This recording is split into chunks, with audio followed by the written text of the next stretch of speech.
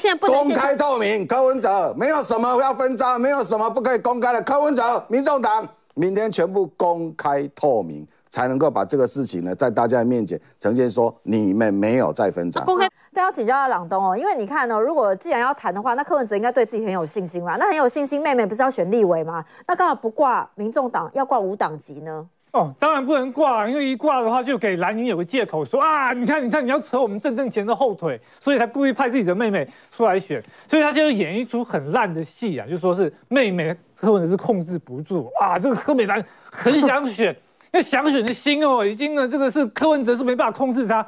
那其实哥哥跟妹妹，你确实可以把它分开来看，可是问题在于什么？八月三号的时候，联合报独家就讲说，柯文哲劝进胞妹柯美兰参选，所有媒体那时候都在报道，也确认一件事情，就是说柯美兰自己没有很想选呐、嗯。是柯文哲一直凹她出来选，就是因为一开始剧本没有写好嘛，后来呢，这剧本写好之后呢，整个三百六十度调转哦，变成是柯美兰自己很想选啊，柯文哲也没有办法劝她，那你就是暗中出宫。你一开始讲的话才是真的，嗯，那就表示柯文哲就想要骗大家。那我怎么要这样呢？因为柯文哲跟高虹安已经貌合神离啊，我还是要跟大家复习一下高虹安的贵人史啊。一开始在知策会嘛，对，然后呢，在知会有人罩他，然后就去那边一边呢就完全去出国拿到博士，然后论文还是跟其他人一起合写的，还有著作权争议，然后郭董啊，然后郭董之后又要到柯文哲民众党，民众党之后又要宣明志，要宣董。宣董呢，现在也跟他切割了，说什么、呃、那个回建筑是我介绍，可是后续跟我没关，就是说现在高虹安是倡议的人呐、嗯，那所以高虹安个人在这边的时候，跟柯文哲已经隔了两代了，有点距离跟隔阂了。那对于高虹安来讲，他跟郑正前是 marky marky，整天活动都出席在一起，所以他就没有要提人，他希望民众党呢在新竹不要提人。可是柯文哲呢，他又想要站稳新竹嘛，他觉得高虹安迟早被停职啊所以，他找一个自己人进去，对，那找个人自己进去，他知道立委也选不上，反正让国民党也选不上，对他也没有损失。再者，接下来柯美兰若有知名度之后，下一次的市长还大有可为。妹妹可能立委也选不上，她只是出来试水温，是为了要接替高虹安的市长位置。他没办法接接高虹安市长，因为高虹安被停职的时候是副市副市长变代理市长。那因为高虹安的副市长不想要找柯文哲想要的人，例如说副市长直接找柯美兰，柯美兰就不会选立委了。可是因为他副市长现在悬而未决嘛，所以柯文哲就觉得啊，你副市长一直不让我去指派人选，那我就派我的妹妹啊去来整你，让你们那个挣挣钱也选不上。这个就是呢，柯文哲他一个很心机很重的地方，他用这个方式去跟高虹安等于是变相切割跟宣战，但是他又不想要跟国民党公开撕破脸，要不然那个黄金组合手下一做就说，哎，柯文哲你可不可以把你妹妹劝回去？是啊，可是大家知道他在病上面棒啊，有什么好那个？反正派派你妹出来选的话，就是要跟蓝营撕破脸。没有，所以这柯文哲这时候就有借口说啊，没有啊，是我妹妹自己想选啊。他对一开始的报道都错了，是我妹妹自己想选，我劝不住她。那这整场戏就是这么的烂。不然蔡壁如这我一定要讲一下，因为我金庸迷啊，我讲金庸我可以讲三个小时。惹毛金庸你没有看小说，你就不要讲嘛，对不对？你们讲那边这些有的没的，那你这所以这个意思是什么？重点不是在于你有看小说，还是你去看周星驰的版本？因为周星驰我也很喜欢，虽然他现在变中共那一派的人。那就问问问题是在于是说，你如果只有看周星驰，你就是说你只有看影集而已，你就不要假装你有看小说。那就像是说你不会写论文，你就不要假装你会写论文，还搞到论文被撤销。所以柯文哲身边布满了这种考古六仙哦。然后柯文哲本身呢就是丁春秋啊，《天王八部》里面的啊，整天在那边哇摇旗呐喊啊，然后底下的每个人就师傅那边阿公颂德啊，神功护体啊啊。这我觉得对于民众来讲，他派出柯美兰这一期，那前后说谎，其实对柯文哲的诚信是有很大的伤害的。好，所以明明没有那么高，就不要站在巨人的肩膀上哦。但是你看看柯美兰有办法站在柯文哲的肩膀上吗？我们请到小芳姐哦，因为你看哦，柯美兰到底要不要选呢？从劝进意愿很高，争取征召，反对他参选。还不要征召，然后最后就说柯美兰早就确定是无党籍了，没有谈过。好，现在高虹安说要帮他站台呢？党中央决定为主，哎，这句话什么意思呢？党中央现在他如果是用无党籍的话，那就跟高虹安没有关系啦。高虹安已经讲得很白了，就是啊，柯美兰要选，就是因为我安安，我现在土城离我很近了，所以我很心慌。那我觉得哈，这个也是呃今天的这个报道的一部分呢、但我觉得呢，柯文哲或者是啊民众党，特别是在新竹啊，难道他们有一种特异功能？这种特异功能就是演吗？我为什么这样讲啊？这篇功能呃这篇的这个报道啊，柯美兰怎么说的？没有人会为了哥哥出来选。然后他怎么他怎么讲？他说自己当初出来选的时候，并没有接触柯文哲，因为对方也很忙。哎，谁会讲哥哥是叫对方啊？哈，然后呃，又这个抱着顺其自然的这个态度。后来因为消息释出，柯文哲也按耐不住，然后两个人用赖约了一下哈，在在礼拜天见面，然后闲聊怎么样啊？你要不要参选呐？你要不要参选呐？就柯美兰。坚持参选，这个跟刚才啊，这个呃，与事实那个雄辩的那个那个脸书，其实讲的是不一样。这个跟我们的这个过去哈，我们现在可以 Google 到一些新闻也是不一样。但我现在要讲的是柯美兰为什么她现在会参选，而且为什么要用无党籍参选？其实第一个。就是蓝白河势必会在新竹破局，嗯，我不甩你国民党啦，哈，那因为反正我跟你国民党也没什么好合作的。那现在呢，更坏的一个情况是，我如果在这个呃新竹用民众党选举的话，那势必接下来明天要谈的这个蓝白河，好像在这边就有一根这个眼中刺一样。所以我干脆我在昨天我就宣布，我用无党籍来选，这是他第一个。第二个呢，他为什么一定要来参选？就是刚才朗东跟我的的看法是一样，因为高鸿安在这一个礼拜，他去这个法院，他去应讯的时候，已经。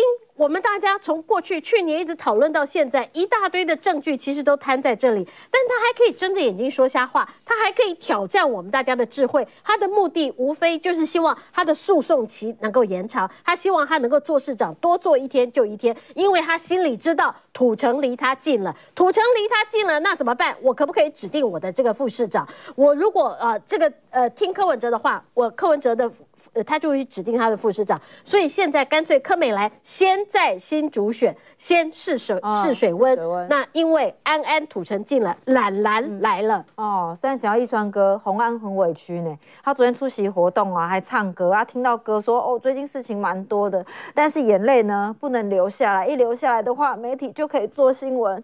他会这样捂着说啊，不赶快拍，眼泪快掉下来了，会不会？他那天出庭的时候就已经很哽咽了哦，大家看了也心疼。啊，因为他就戴着口罩嘛，那口罩的下面，你是因为安安还是晴晴心疼？都有了，因为他们两个 那一天刚好台北有书局在影印纸拍卖，影印纸，你是说那个卷宗啦？影印纸啦，就他们不是报了一堆影印纸哦，原来是拍卖的时候，就火车站那里有一个书局在拍卖啦，一个每人限购一箱啦，所以他们每一个人就报一箱，嗯。一箱摸进去，讲堆头到尾都没有打开啊。没有人在提示证物的时候是自己报的啦，那个都是事先就要交给律师的嘛。那我咧，那我咧现场咧冒起的，现场冒起，我管法官嘛未收啦，因为一定要律师律律师跟那个法院对嘛，对说，哎，你今天交来的是是什么？高永安最近这一阵子的诉讼策略，除了拖延以外，哈，他可能还会开始诉求悲情啦，因为他那一天有讲得很清楚，他说我很感谢我那些助理啦，对我也没有怪小兔啦。啊，小兔会这样弄哦，其实都是那个李俊义弄的啦，就李俊义的留下来的。对。啊，小兔就就这样弄了。其实我也没有怪小兔啊，那三个人哦，那是另外那三个助理主任啊，因为他们哦，可能也是被逼的啦，一被逼的哦，因为说他们他们的律师高永康的律师还在说那三个认罪，嗯，是不是真的认罪啊？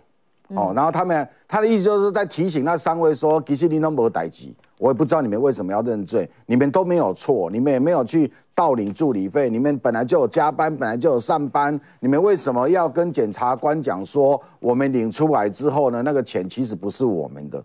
高文安从头到尾都在讲这个，然后呢，他他在那个庭上，他直接说，哎，说说什么他自己的学历啊，然后他自己的一些多多厉害的表现啊，什么立法院评鉴什么什么第一名啊。他以为这段宾馆的法官会把他当成台大，然后就是什么匪逃匪，然后知策会红海，把他当偶像吗？会把你当偶像的只有竹科妈妈的小朋友会觉得安安安安市长很棒，很会读书，只有这些小朋友会把你当偶像而已。可是呢，在法庭里头，全部讲的都是证据了啦，所以你这一些诉求当然可以诉诸这一个社会。所以他昨天讲说。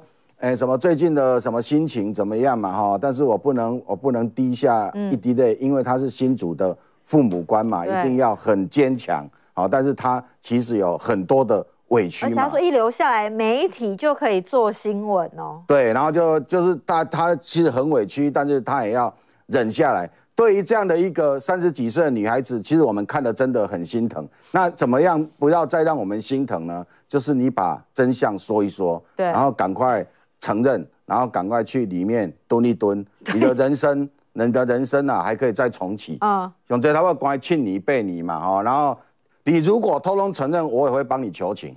哦，的讲年少无知、年少轻狂，噶袂样哦，唔捌做过这，大家可以帮你求情。你四十几岁出来，还是有另外一片因为天。主要是啊，蓝白河这个议题，是因为的确这个菲律的选民或者是国民党或民众很多支持希望看到蓝白河。那的确，我们喊了这么多个月了啊，民众喊了这么多个月，大家没有不愿意坐下来嘛。那这个时候最至少愿意坐下来。你看，哎，之前郭董讲说要这个什么，请大家喝咖啡、喝奶茶的时候，也没人愿意坐下来啊。那这个实质上有去进行所谓进入所谓深水区开始谈的话，那当然以国民党或侯友谊立场，就是我们基本上不是预预设前提，那代表什么都可以谈嘛。那什么都可以谈，那当然包含啊，不管总统、副总统，甚至是阁魁位置等等类类似，都会进去所谓谈判的一个内容里面。那你必须你知道两个彼此放话放这么放那么久，民众党也讲出那么多底线了，但是他现在也愿意退让嘛。一开始民众党其实有说啦，这个一定王珊珊有说一定要公开透明嘛，对不对？那我们提出的要求是说，我们可以我们可以全程录影。那如果未来双方如果真的有争议的话，我们去公开录影的内容。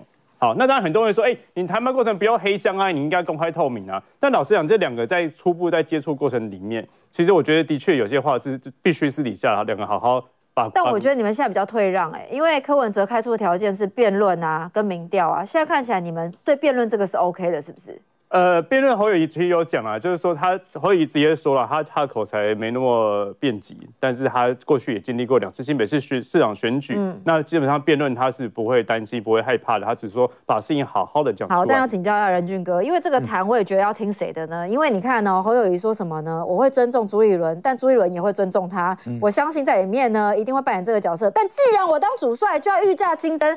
阿贝意思是说还是要填挖野嘛？好，重点就是。那你说要谈什么？柯震宇的底线就是辩论跟民调。侯友谊就说公开嫌东嫌西怎么结婚？嗯可是这一场婚姻看起来就是一个不幸福的开始啊！要要先订婚啊，总总要先提亲嘛。对问题是谁要负责提亲的这件事啊？老实讲，辩论加民调这些没有这么难呐啊为什么？因为很简单嘛。如果他今天愿意辩论，那就辩论完之后立刻做民调。呀对，啊，这样就好了嘛。对啊，至于你们要怎么去选几家公司，你们自己瞧好就可以了。我我觉得这是最少，因为国民党很喜欢把事情搞得很复杂，你知道吗？记不记得当时侯友谊出现的时候，先量化，量化不对之后还要再直化，啊，为什么要搞那么复杂？就是因为心里面已经有答案了嘛。就就是你可能已经有一个想定的一个目标嘛，你就答案就已经决定好了，那只是为了想办法把答案抽出来，这就是为什么到到现在为止郭台铭翻脸嘛。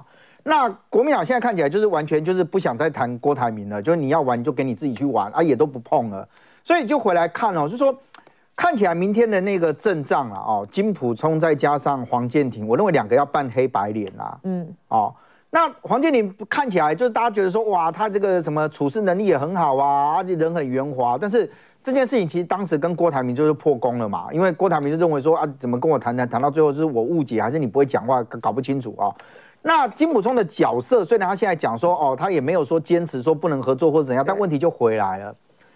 大家还是会回来看的是，那明天这两个人的是意见是一致的吗？如果这两个人意见一致的是，其实不需要两边都派啦，你就充分授权对方嘛，因为你两个人都代表国民党，代表两边不信任对方嘛，诸侯不信任对方对，就是其实不用那么复杂啦，就说两个片，所以我唯一能够理解，大概大概两个人要扮黑白脸啊，一个可能说可以，一个说不行，或者是怎样怎样，那这个就很很奇怪啊，所以我就说说我我认为对于这个非绿的阵营来讲哦，大家还是会认为说明天最少是一个开端呐啊。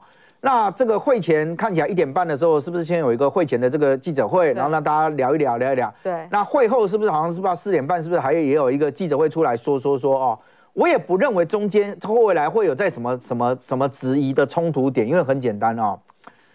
如果今天要辩论，按照民众党的说法，黄山他们就讲法说要三要三个嘛，要三个三场的辩论嘛啊。现明天的时间是十月十四号，对，黄珊其实有画下一条线嘛，十月底。十月底的时候，如果没有谈，没有一个结果，那就是要，那就是选到底了，只剩两个礼拜的时间怎。么去变出三场辩论？对，我我觉得这就是个问题。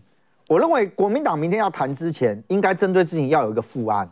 如果你要谈这件事情，你必定要有一个副案，你要你要怎么样去去面对？如果你不要，你要不要具体提出一个东西？没有什么不预设体现，大家坐在那，那那叫意思是吧？啊，不你讲啊，不然乱 你先讲啊，你先讲讲啊，你先讲啊，你说大家你说对对对，对啊，大家过要温良恭俭让哦，对不对？那也很奇怪啦。所以我觉得可能对于国民党来讲，现在大家其实看的还是国民党这场戏。如果今天国民党真的有一个想法，或者是怎样要合作，你看连赵少康都可以提了、啊，赵少康都讲说什么六成比民调，然后什么四成看政党实力什么的，这都是个方法。